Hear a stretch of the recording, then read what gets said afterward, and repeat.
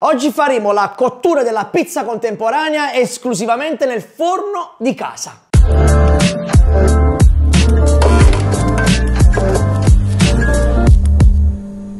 Sono Vincenzo Capuano, campione del mondo di pizza napoletana contemporanea, titolare delle pizzerie Vincenzo Capuano a Napoli e anche fuori dalla nostra regione ed oggi sono qui prestato a una cucina per insegnarvi a fare la vera pizza contemporanea in casa. Oggi parliamo di cottura, il vero problema di chi a casa non ha attrezzature. Ovviamente ci sono forni professionali, vedete tanti miei video che sono forni costosi e relativamente diciamo difficili da mettere in casa. Oggi invece ho scelto di portarvi una tecnica di cottura contemporanea per avere la pizza nel forno di casa a 250 gradi. Gli accessori necessari per questa cottura sono semplicemente il nostro forno di casa che massimo arriva a 250 gradi, una pietra refrattaria oppure va bene anche una teglia classica messa al contrario e una pirofila in vetro trasparente. Ma adesso andiamo a mettere le mani in pasta e guardate questa cottura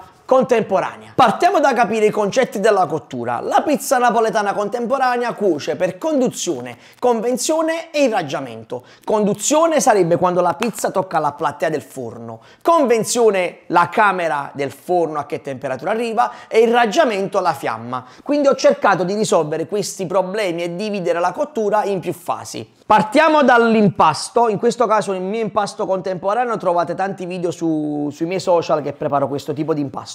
Cominciamo a stenderlo, ovviamente tenendo conto di preservare il cornicione, perché parliamo di pizza contemporanea, quindi cornicione bello pronunciato. Impasto molto idratato, in questo caso è un 80% idratazione, ecco qui. Andiamo alla stesura di questa pizza. Per oggi ho scelto di fare una pizza di stagione, e abbiamo questa crema di zucca bella sana e colorata. Forno preriscaldato, palettina, siamo pronti per andare in cottura. Allargo un po' la pizza che ovviamente durante la fase di stacco potrebbe stringersi un po', quindi l'allargo un poco poco in più.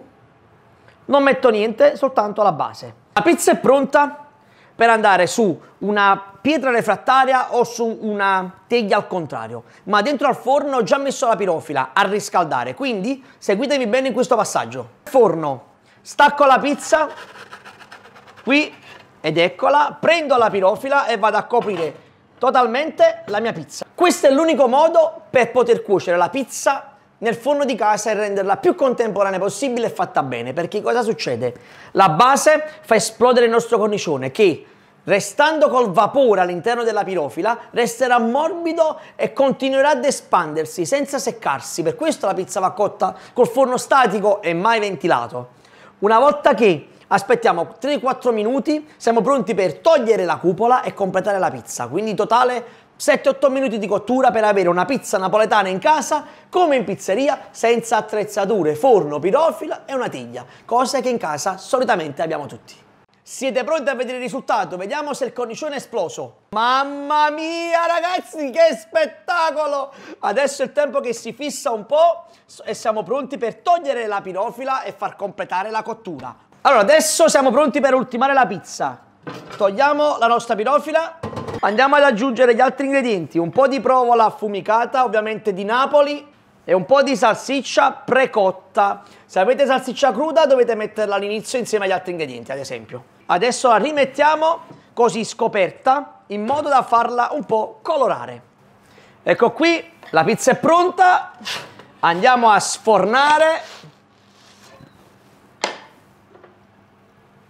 Fogliolina di basilico di Napoli olio beneventano, un filino, e adesso andiamo alla prova del taglio della mia pizza contemporanea fatta in casa con un forno a 250 gradi. Ed ecco qui la mia pizza napoletana contemporanea fatta in casa.